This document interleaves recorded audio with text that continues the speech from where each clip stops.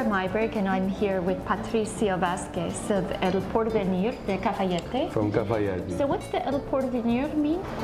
Well, El Porvenir uh, means what, what, what is about to come, means the future. So that's why we, we decided to put the name to the winery, because we are the future of Cafayate. We work close with, with the vineyards, with the earth, with the people to, to, to, to show to the world the, the wines and the culture from Cafayate and what is coming from Cafayate. In, in this case, our, our wines, but uh, there are a lot of things nice in Cafayate. So tell me about the area. What, what makes it so special for you? Well, the, the, the area is completely different, uh, not only in, in, in the winemaking or in the, in the vineyards, uh, it's, it's, complete, it's, it's, a desert, it's a desert, you, you go, in, you stay in Cafayate and you see people from all over the world discovering the area due to it's a, it's a not common area.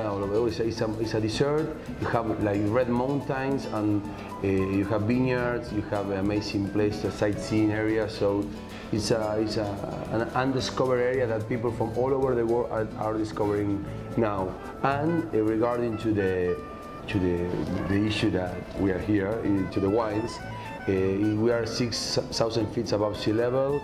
Uh, I told it's a desert, so very few rains, so you have to manage, it, or each winery has, has to manage to, to get their own water to, to, to irrigate the, the, the vineyards, um, and has unique flavors due to its uh, in a, in a valley that has 2,000 hectares, so it's very small. We say we always say that it's a, a boutique winery in a boutique terroir because not everybody has the possibility to, to have a, a vineyard over there. A lot of wineries from Argentina, and from all over the world, are looking actually to Cafayate or Cafayate, and uh, well, it is, it's, a, it's a valley surrounded by mountains at 6,000 feet with amazing characteristics for, for Torrontes. It's, it's the best. Well, I'm glad you mentioned Torontes. Torrontes. It's not a great variety uh, seen all over the world yet. So Not what can yet. you tell me about Torrontes? What should one expect of a to- good Torrontes? Wh- When you say Torrontes, comes to my mind the freshness, freshness, uh, mineral notes.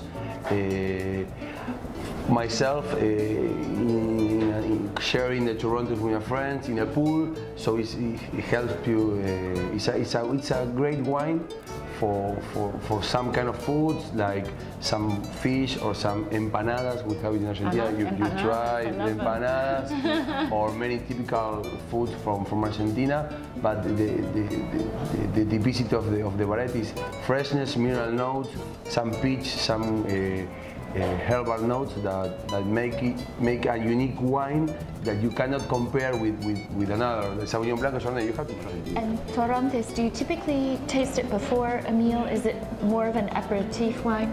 It's also, you can have it when, when we're in the winery, we're receiving people, clients, consumer. We always start with Torrontes, with empanada, and then we, we, we move to the, to the, to the, to the reds. But also it's, of course, uh, you can have a meal if, if you choose and you can match the meal with, with the, the, the whole meal with the Toronto. It's an amazing wine. I do.